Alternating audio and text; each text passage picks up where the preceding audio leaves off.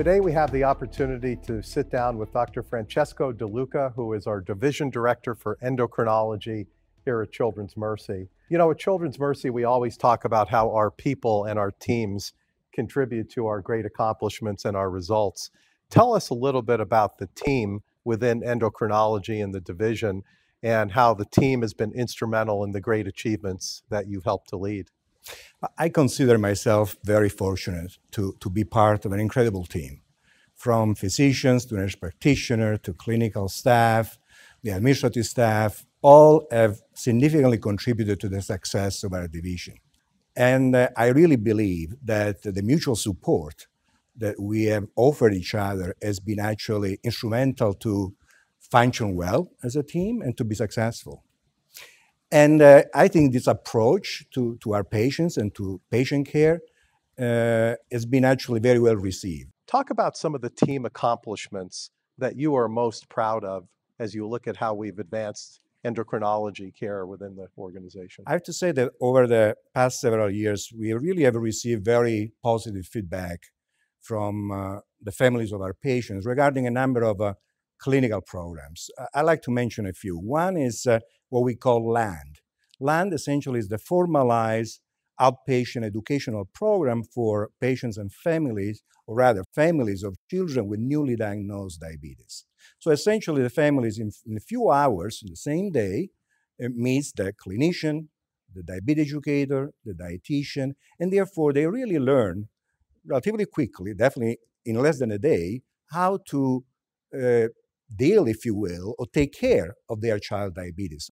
Another example I'd like to give you is uh, the success we have had with what we call focus clinics. The focus clinics are multidisciplinary uh, clinics, especially aimed to the care of children with very complex endocrine disorders. And again, is the benefit for the family is obvious because uh, uh, they, in one day, they meet several specialists of different disciplines that, again, they can take care effectively and in collaboration with one another to, again, to the problem, to the condition uh, of, the, of the child. So the, the advantage is obvious because instead of making several trips and seeing several providers in different days, maybe traveling for many hours, instead everything is done. Sometimes virtually, sometimes in person, but again in the same day, in the same location. Dr. De Luca, when I um, have the opportunity to go and visit our various sites and locations and clinics where we have our endocrinology program embedded, um, your teams are telling those exact stories. That makes me so proud when um, I hear our employees talk about these programs with pride, and you talk about how they're impacting the care of patients that we serve. So that's amazing. When you think about the future, we also know there are many challenges that face us. What are some of those challenges that come to mind, particularly within your specialty? I think that it, maybe the major challenge, or one of the major challenges we are facing, is truly the shortage of clinicians. And this, if it wasn't concerning enough, is in a way, unfortunately, goes along with the fact that fewer nurses and nurse practitioners are really willing, interested, able to gain expertise in a subspecialty like ours. There are probably multiple ways to address this challenge. I think one way is clearly, and in a way we are ready as an institution doing this, by really concentrating our efforts to select the most, the best, the most outstanding trainees, starting from the residency program, giving them the opportunity to really multiple opportunities to learn about the subspecialty like ours, hopefully to become passionate about the subspecialty, and then obviously and ultimately to be able to retain those, uh, again, well skilled, well trained uh, new physicians in our divisions. That ultimately would be the goal. You know, as we um, sit here today, we sit here in the Children's Mercy Research Institute, and I know that um, our research programs have been one of the hallmarks of your division, and especially our genomics program. We had one of the very first pediatric genomics programs in the country, and now we are really propelling and advancing that work forward how is our research and particularly our genomics program um, impacting endocrinology and the work that you're doing every day? I believe that our division, the Division of Pediatric Endocrinology, has been really privileged to be at Children's Mercy and work with an outstanding genomic center. Uh, historically, many endocrine disorders uh, remain without any identified cause. And now, over the last few years, uh, thanks to the state of the art technology, their unique expertise, our colleague of the Genomic Center have been able really to help us identify new gene variants, so new causes, new etiology of many endocrine disorders. So that's been an incredible benefit for us. I think another field, if you will, that would be important, and they are already supporting us, is really to target, to perfect therapies, the most effective therapies, the safest therapies for each individual patient, especially based on the individual genomic uh, makeup. And that's really, in a way, the way I say it sounds like, may sound a little bit like science fiction. Actually, I think we are really very much closer than we thought previously about reaching that true personalized medicine approach. No question about it. We we refer to that as our you know, precision therapeutics program here, which is you know children are not like adults. Every child, as you know better than I do, diseases manifest themselves in unique and very personal ways.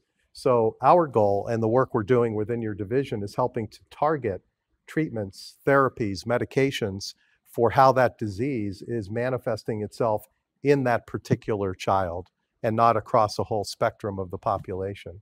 So we're very excited about the work that you're doing and the work that we're doing as an institution uh, to really bring our genomics and precision therapeutics program to life.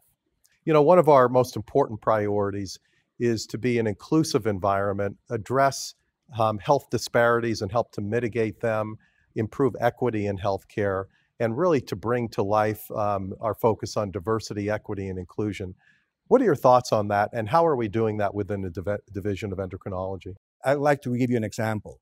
One of my colleagues, Dr. Relan in Wichita, is actively participating to a project with actually nurses and social workers.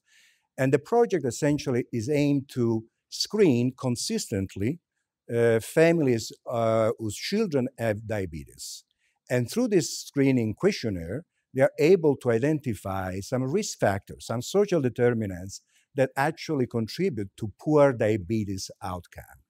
And when they do that, when they identify those family at risk, then they immediately, the team connects this family with community-based organizations where, which have the know-how, the support, the resources to help this family. That's a fantastic example. What it calls for mind to me is, you know, one of our pillars in our strategic plan is community impact. And when we talk about community impact, um, it's a it's a recognition that while we will never lose sight of how we care for the individual child, we also have an obligation to focus on communities and populations and and lift the quality of life and improve the health status of patients um, that we care for and families and communities. And part of that is exactly what you're describing. It's looking at the holistic approach to how we provide care. Um, Dr. De Luca, we are so good at Children's Mercy at telling stories. Do any mm. particular stories come to mind that really bring the great work that you're doing to life in a very personal way? What comes to my mind right now is we have one of the focus clinics is a Prader-Willi clinic. Prader-Willi is a rather rare genetic disorder, which really requires a multidisciplinary team approach. We have established a focus clinic on this disorder a few months ago, and I rem- distinctly remember a family repeatedly thanking from the from the care assistant to the nurse to the to, to the clinician for the opportunity they had, this particular family had to come from Arkansas and see all these specialties at once in the same clinic. And it was remarkable because she couldn't stop thanking us. And that's really makes makes a difference. I was so excited when that clinic was established. Um, the Prader-Willi Clinic, it's a little bit personal for me. We have a very good friend from back east whose daughter has Prader-Willi's uh, syndrome. And uh, when I saw that we were establishing that clinic, it made me very proud because, as you describe it, it's a very rare condition, requires a very intensive multidisciplinary approach. And I'm so proud that Children's Mercy is helping to lead the way in uh, treating that disorder. Um, Dr. De Luca, thank you so much for joining me here today. I'm appreciative of your leadership. I'm appreciative of the great teamwork um, that you are facilitating. And thank you all for joining us today. Have a wonderful day.